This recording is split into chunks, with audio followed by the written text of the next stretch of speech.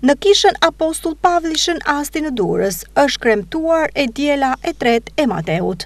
Të dielën e sotme besimtarët ortodoksë dëgjuan ungjillin që i udhëzon ata si të bëjnë një jetë të pëlqyeshme përpara Perëndisë. Mesazhi i ungjillit është shumë i rëndësishëm dhe i qartë, Kërkoni më parë mbretërinë e qiellit dhe më pas të gjitha këto gjëra do t'ju shtohen.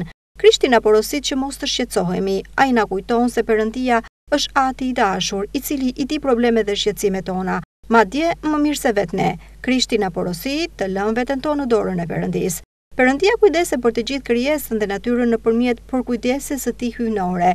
Perëndia akoma më shumë përkujdeset për njeriun, që është krijesa më supreme e krijuar sipas imazhit dhe ngjashmërisë me të. Besimtarët ftohen t'i drejtohen Perëndisë me besim të plotë dhe t'i luten për problemet e përditshme, duke vepruar me kujdes e përgjegjshmëri.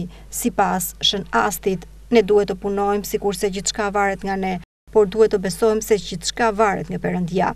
Mesazhi kryesor që të krishterët ortodoksë marrin sot është që të besojnë veten e tyre në duart e Perëndisë, duke kërkuar më parë mbretërimin e Perëndisë dhe drejtësinë e Tij, dhe Perëndia me dashurinë dhe dhembshurinë e tij të pafundme do t'i zgjidhë problemet e përditshme dhe do të na dhurojë si shpërblim Mbretërinë e Qiejve.